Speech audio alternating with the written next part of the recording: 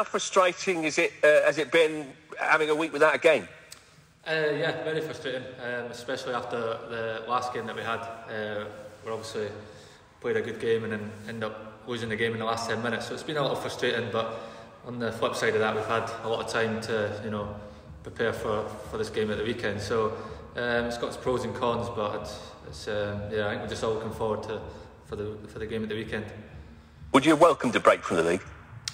Um, I wouldn't say it's such a negative thing. Like I said, there's, there's more time on the training field. You know, we've signed quite a, a few new boys, um, so it's you know it's probably good for them as well, just to you know for them to get used to the way we play and, and for them to settle in. So yeah, I'd probably say it's actually more positive than negative. Yeah, and it has been a busy week, as you said, in the in the transfer market, with the club making um, I think five signings now. Yeah. What's that done for the squad? Oh, it's given given obviously the gaffer more options. Um, you know good players we've brought in. Um, you know, a few Scottish boys, which is always good. Um, but no, it's, obviously it's more competition amongst the squad. It makes everyone train that little bit extra, extra hard. You know, it keeps it very competitive. So yeah, it's very positive. And as far as um, uh, the, the situation you find yourselves in, it's not been a, been a good run of form for you for you guys, and I know that you you know as a squad you'd be determined to try and put this right. What conversations do you have as a group away from the sort of the management team? Because the manager can only do so much. What conversations do you have as a, as a group uh, to try and sort of navigate your way through this tricky spot?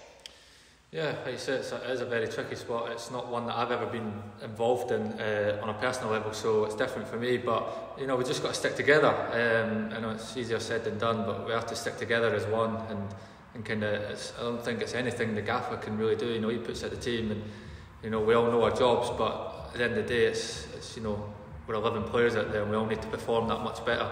Um, because you know, it's like you say, it's probably not been good enough on an individual uh, spectrum and, and as a team. So I think if everyone just you know ups our game a little bit, we won't be too far off because that Port Vale game that we played last week, you know, for the first half it was as good as I can remember us playing for a good while. So there was a lot of positives in it, and then obviously the second half was a bit a bit disappointing, but there's still a lot of positives in that game.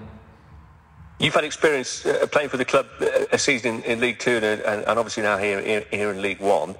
How uh, put us in the picture for, for us on the outside, sort of looking in. How, how big a step up has this been for the side?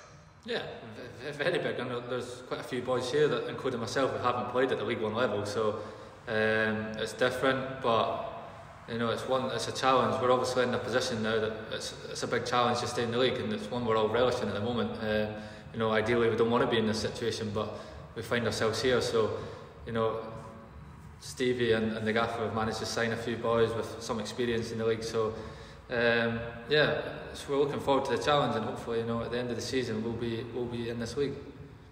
Got task at the weekend. What do you make of Exeter? Yeah, good team. Um, you know, they obviously they beat us in the league um, earlier on, earlier in the season, so we know what they're about. They're a good footballing team. Um, obviously got a new manager from the last time we played, but you know it still looks like they still got the same you know squad depth. So yeah, it's going to be a tough game. Um, it's a hard place to go, and you know, but on the flip side of that, we are looking forward to it.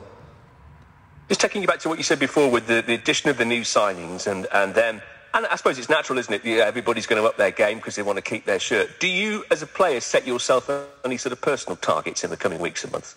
Um, yeah, I mean, I, am probably my own harshest critic, so I'm always demanding a lot for myself. Um, you know, for personal note for this season, it's you know I've not played as well as I'd like to, and uh, it's quite hard to deal with at times. But you're always trying to find things on the training ground to, to improve your game and you know that's all you can do is you know I've been working working hard on the training ground and um, you know a lot of the boys have like, like I say the position we're in in the league we're all having to dig that bit extra to, to push each other so um, yeah I've got targets you know ones ones that I'll keep to myself uh, for, now um, but yeah it's uh, like I say it's a challenge this season uh, one we're looking forward to.